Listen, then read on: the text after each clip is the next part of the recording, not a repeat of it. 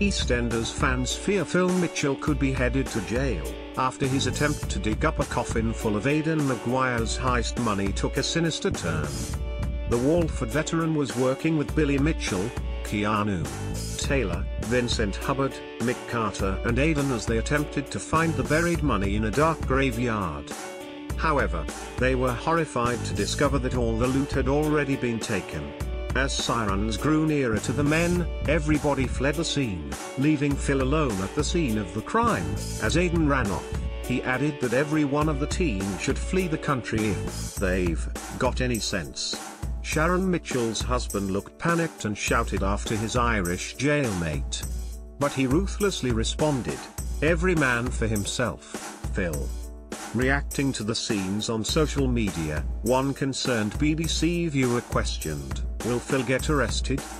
Hashtag EastEnders, while another predicted, poor Phil will end up getting busted by hashtag police hashtag EastEnders.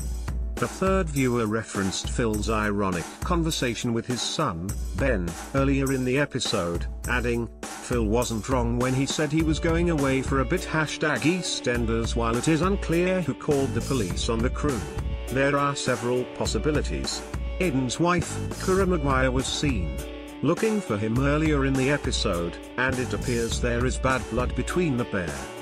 Plus, Shirley, Linda and Johnny Carter looked increasingly worried about Mick as they discovered he was with murderous Aidan, with Johnny even threatening to ring the cops when he first found out, but did they follow through?